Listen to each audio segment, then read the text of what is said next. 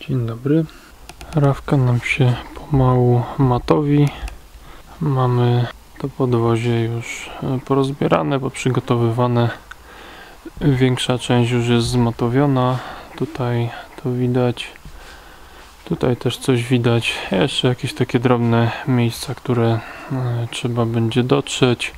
Tu na środku, gdzieś tam z przodu. No całą podłogę mamy już zmatowioną. Jedynie tutaj kawałeczek został nad tunelem, to może jest właśnie ta różnica. E, No ale co Wam chciałem pokazać to, że Toyota zaczyna pomału przechodzić samą siebie. Bo o ile e, do tej pory jeszcze jak mierzyliśmy te podwozia, no to to było takie 30-40 mikronów. E, No to tutaj miejscami też się tak zdarza. Pokażemy sobie dlatego właśnie miejsce, w którym miałoby być tego więcej, bo mnie się nie bardzo chciało w to wierzyć, jak pierwszy raz przyłożyłem miernik do tego podwozia. Zobaczmy takie miejsce tutaj, próg, wewnętrzna część progu, tutaj gdzie leci spod kół, no wiadomo tutaj są e, osłony, więc one trochę to zasłaniają, ale mimo wszystko przyjrzyjmy się co nam to urządzenie pokaże.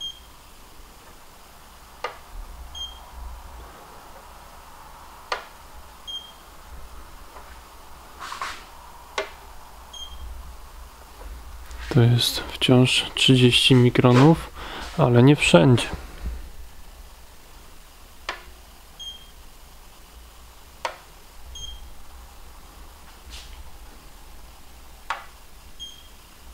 Wiecie co, no trochę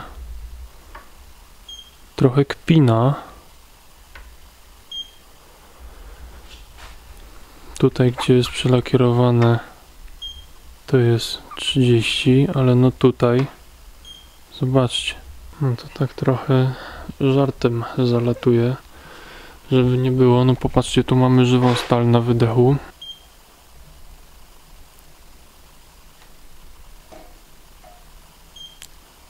Czyli jednak jak jest żywy metal, no to jest 0. A teraz przykładamy sobie do takiego miejsca, e, powiedzmy z KTL-em. I my tu mamy po 20 mikronów. Zobaczcie, dycha. Na progach. No także e, trochę to ciekawie wygląda. Rawka nam się zmatowiła. To jest ta e, całkiem nowa, która tam ma 11 km przebiegu, przynajmniej tyle miała w momencie wjazdu tutaj i tyle będzie miała w momencie wyjazdu na geometrię. Mamy ją już całą zmatowioną. Myślę, że dobrze będzie to widać w tym miejscu do tej linii, ponieważ powyżej tej linii będziemy kleić e, już e, te nakładki plastikowe, no a poniżej będziemy robić podkład, masy i różne inne tego typu cuda. Mamy pozdzierane fabryczne masy w tym miejscu, tutaj gdzie, gdzie są one na progach, bo tu będziemy nakładać swoją, a e, mimo wszystko w takich newralgicznych punktach kładzenie jednej na drugą nie do końca mnie przekonuje. Tu mamy pomatowioną podłogę, podłużnicę, no ogólnie prawie 3 dni pracy dwóch ludzi, y, gąbeczki ścierne, jakieś papierki ścierne, takie rzeczy, wszystko, wszystko ręczna robota. Y, Większe powierzchnie, jakieś takie płaskie, tak jak tutaj jest powiedzmy bok podłużnicy, y, czy są jakieś miejsca bardziej płaskie na podłodze, no to można było zrobić z maszynki, ale niestety jakieś zakamarki, powiedzmy takie jak tutaj, e, czy tu między miejscem na podporę wału a tym poprzecznym spornikiem, e, czy gdzieś tam w nadkolach, e, powiedzmy o tutaj przy podłużnicy, e, czy tu, no to niestety to wszystko. O tu jest ręczna robota, bo tutaj żadne maszynki, żadne tego typu rzeczy nie mają racji bytu.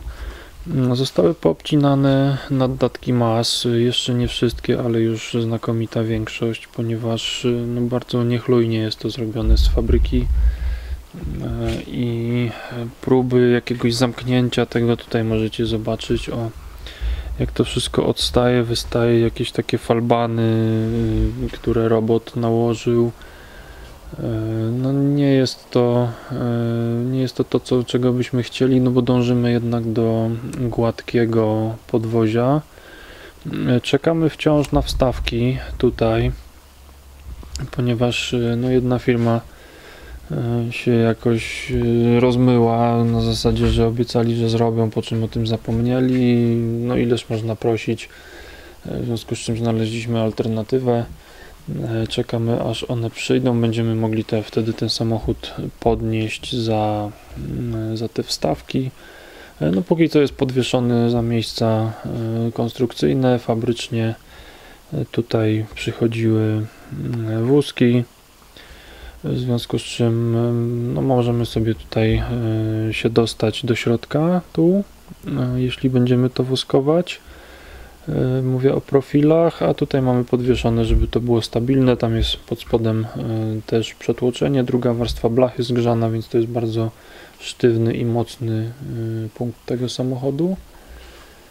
No, W tym momencie jedyne co nam zostało to samochód okleić e, i jak będzie oklejony, no to jedziemy z podkładem i na koniec dopiero będziemy kładli masy. E, Jeszcze może mm, tak słowo odnośnie tego Selecta DNA. Tutaj mamy też taką plujkę na silniku. Ja wam przybliżę. Jeśli dobrze przyjrzycie, to te takie ciemniejsze punkciki to są te mikroznaczniki. E, No ja już o tym opowiadałem w poprzednim filmiku, tam e, niektórzy wciąż wierzą, że to jest nieusuwalne i, i takie świetne. No jest to czysto marketingowa sprawa. E, Nieusuwalne nie jest nic, a uważam, że e, tak jak na przykład tutaj mamy kod QR i mamy najprawdopodobniej datę montażu tego samochodu, wygląda na to, żeby go w Wigilię składali. E, Myślę, że po tym wypadałoby identyfikować e, ewentualnie ukradzione samochody, a nie po jakichś takich maśkach, które są naprawdę dziecinnie proste do usunięcia. I jeśli ktoś uważa, że jest inaczej, to ja serdecznie zapraszam tutaj. E, Na pewno tych samochodów znaczonych będziemy mieli coraz więcej, bo coraz więcej ich się tutaj melduje e, tych odbieranych aktualnie, no a od końca zeszłego roku już są wszystkie znaczone. Więc jeśli ktoś uważa, że to jest takie świetne, super i wspaniałe, to ja zapraszam na testy. E, No z wiadomych względów nie będę tego pokazywał, aczkolwiek uważam, że ludzie, którzy się trudnią kradzieżą samochodów, to oni mają takie systemy rozpracowane, e, zanim one się w ogóle pojawiły na rynku, a no, jeśli ktoś tam sobie twierdzi, że że to nie wolno pokazywać, nie wolno coś tam, no to, to jest myślę tylko i wyłącznie jego sprawa. E, Tu mamy jeszcze całe nadkole, ono jest zmatowione tu do samej góry. Mamy zdjęty dolny pas pod chłodnicami, no i teraz się bierzemy za oklejanie tego. Jest to już odtłuszczone, umyte, więc to jest taki moment, kiedy oklejamy i i bierzemy się za podkład.